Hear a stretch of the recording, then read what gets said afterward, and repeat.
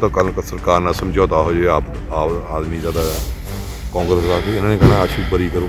ਕਾਹਨੂੰ ਕਰਾਉਣਾ ਯਾਰ ਲੜਾਈ ਲੜਾਂਗੇ ਆਸ਼ੂ ਨੂੰ। ਗੁੰਡਾ ਗੁੰਡਾ ਪੰਜਾਬ ਦਾ ਗੁੰਡਾ ਸਮਝਦਾ ਆਪਣੇ ਨੂੰ ਤਾਂ। ਆਹ ਟਰੱਕਾਂ ਨਾਲ ਤੇਰਾ ਪੰਗਾ ਪਿਆ ਸਾਰੀ। ਤੈਨੂੰ ਦਿਖਾਈਏ ਗੁੰਡੇ ਕੀ ਹੁੰਦੇ ਆ।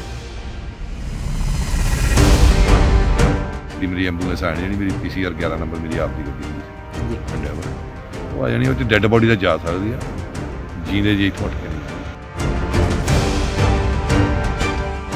ਯਾਰ ਇੱਕ ਮੋਦੀ ਸਰਕਾਰ ਕਾਲੇ ਕਾਨੂੰਨ ਲੈ ਕੇ ਆਈ ਆ ਉਹਦੇ ਖਿਲਾਫ ਮਰਨ ਵਰਤੇ ਬੈਠਾ। ਅੱਜ ਦਰਬਾਰ ਸਾਹਿਬ ਗਿਆ ਸੀ ਮੱਥਾ ਟੇਕਣ।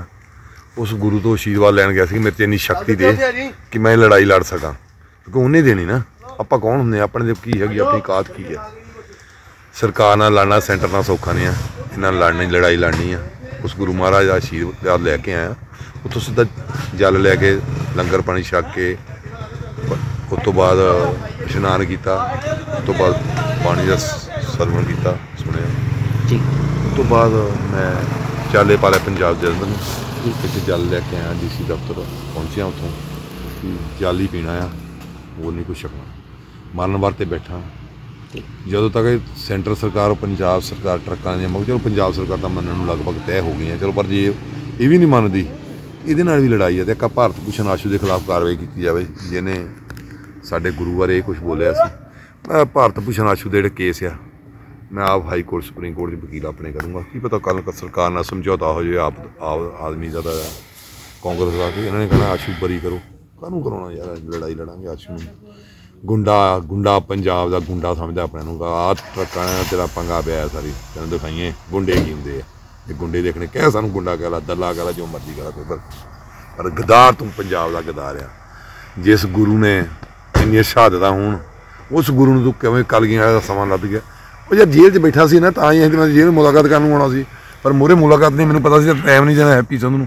ਤੂੰ ਤਾਂ ਮਿਲਣ ਦਾ ਟਾਈਮ ਨਹੀਂ ਦਿੱਤਾ, ਅੱਜ ਤੱਕ ਜਿੰਨੇ ਦਿਨ ਮਿਨਿਸਟਰ ਆ। ਤਾਂ ਕਰਕੇ ਕੋਈ ਨਹੀਂ, ਦਿਖਾਵਾਂਗੇ, ਤੈਨੂੰ ਮਿਲਾਂਗੇ ਵੀ ਮੈਂ ਕਹਿੰਦਾ ਕਿ ਇੱਥੇ ਜਲੰਧਰ ਚ ਆਵੇ। ਜੇ ਮੈਂ ਕਿਹਾ ਭਜਾਇਆ ਨਾ ਮੁਰੇ ਮੁਰੇ ਨਾ ਭਜਾ ਦੇ, ਯਾਰ ਦਾ ਪੁੱਤ ਨਹੀਂ, ਨਾ ਪੰਜਾਬ ਦਾ ਪ੍ਰਧਾਨ ਫਿਰ ਆ ਹੀ ਨਹੀਂਗਾ ਸਰ ਕਿੰਨਾ ਸਮਾਂ ਹੋ ਗਿਆ ਜੀ ਇੱਥੇ ਬੈਠੇ ਹੋਏ? ਆ ਇਹ ਤੋਂ ਤਿੰਨ ਚਾਰ ਘੰਟੇ ਹੋਏ ਮੈਂ ਕਿਹਾ ਕੋਈ ਸਾਢੇ ਸੱਤ ਆਇਆ ਪ੍ਰਸ਼ਾਸਨ ਦਾ ਕੋਈ ਅਧਿਕਾਰੀ ਇਸ ਵੇਲੇ ਨਹੀਂ, ਤੁਹਾਡੇ ਨਾਲ ਚਲੋ। ਮੁਲਾਕਾਤ ਕਰਕੇ ਗਿਆ ਲੋਕਲ ਲੈਵਲ ਤੇ ਆਉਂਦੇ ਆ ਸੀਆਈਡੀ ਵਾਲੇ ਆਉਂਦੇ ਆ ਬਾਕੀ ਕੋਈ ਸਰਕਾਰ ਯਾਰ ਵਿਚਾਰੀ ਉਹ ਪੰਜਾਬ ਪ੍ਰਸ਼ਾਸਨ ਦੇ ਅਧਿਕਾਰੀ ਕਿੱਦਾਂ ਕਰ ਸਕਦੇ? ਗੱਲ ਤਾਂ ਸਾਰੀ ਡੀ ਸਾਹਿਬ ਨਾਲ ਮੀਟਿੰਗ ਹੋ ਗਈ ਆ ਸਾਰਿਆਂ ਨਾਲ ਹੋ ਗਈ ਆ। ਸੈਂਟਰ ਸਾ- ਆਪਣੇ ਪੰਜਾਬ ਸਰਕਾਰ ਨੂੰ ਪਤਾ ਸੈਂਟਰ ਸਰਕਾਰ ਨੂੰ ਪਤਾ ਪਰ ਉਹ ਚਲੋ ਸਵੇਰੇ ਦੇਖਦੇ ਆ ਸਵੇਰੇ ਕੁਝ ਚੰਗਾ ਹੋਵੇ ਸ਼ਾਇਦ ਚੰਗੇ ਦੀ ਉਮੀਦ ਰੱਖਣੀ ਚਾਹੀਦੀ ਮਾੜੀ ਨੈਗੇਟਿਵਿਟੀ ਨਹੀਂ ਚਾਹੀਦੀ। ਕੋਈ ਨਹੀਂ ਵਧੀਆ ਹੋਊਗਾ ਸੱਚੀ ਬਾਤ ਕਿੰਨੇ ਸਮੇਂ ਤੱਕ ਇੱਥੇ ਬੈਠੇ ਰਹੋਗੇ? ਜਦੋਂ ਤੱਕ ਮੰਗਾਂ ਨਹੀਂ ਮੰਨੀਆਂ ਜਾਂਦੀਆਂ। ਡੈੱਡ ਬੋਡੀ ਮੇਰੀ ਕੱਲ ਸ੍ਰੀ ਗੁਰੂ ਹਰਕ੍ਰਿਸ਼ਨ ਜੀ ਚੈਰੀਟੇਬਲ ਟਰਸਟ ਆ। ਉਹਦੀ ਗੱਡੀ ਮੇਰੀ ਐਂਬੂਲੈਂਸ ਆਣੀ ਜਿਹੜੀ ਮੇਰੀ ਪੀਸੀਆਰ 11 ਨੰਬਰ ਮੇਰੀ ਆਪ ਦੀ ਗੱਡੀ ਹੁੰਦੀ ਸੀ। ਜੀ। Endeavour ਉਹ ਆ ਜਾਣੀ ਉਹ ਚ ਡੈੱਡ ਬੋਡੀ ਤਾਂ ਜਾ ਸਕਦੀ ਆ। ਜੀਂਦੇ ਜੀ ਇੱਥੋਂ ਉੱਠ ਕੇ ਨਹੀਂ ਜਾਣਾ ਡੱਲਾ ਹੋਊਗਾ ਪੰਜਾਬ ਦਾ ਗਦਾਰ ਹੋਊਗਾ ਜੀ ਕੇ। ਇਸ ਵੇਲੇ ਕਿੰਨੇ ਲੋਕ ਤੁਹਾਡੇ ਨਾਲ ਮੌਜੂਦ ਨੇ? ਯਾਰ ਮੈਂ ਕਿਹਾ ਹੀ ਨਹੀਂ ਕਿਸੇ ਨੂੰ।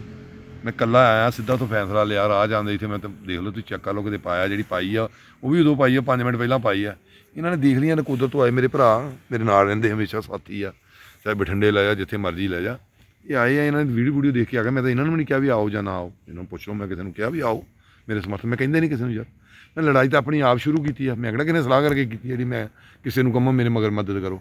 ਜੇ ਮੈਂ ਲੜਾਈ ਆਪ ਸ਼ੁਰੂ ਕੀਤੀ, ਤਾਂ ਲੜੂੰਗਾ ਵੀ ਆਪ, ਮਰਨ ਵਰਤੇ ਮੈਂ ਲਈ, ਬੰਦਿਆਂ ਦੀ ਥੋੜੀ ਲੋੜ ਆ। ਬੰਦਾ ਇੱਕ ਮਰ ਗਿਆ, ਉਹ ਵੀ ਉਨੀ ਆ 10 ਮਰ ਗਿਆ ਤਾਂ ਵੀ ਉਨੀ ਆ, ਗੱਲ ਤਾਂ ਇੱਕੋ ਹੀ ਕੋਈ ਫ਼ਰਕ ਨਹੀਂ। ਠੀਕ ਹੈ।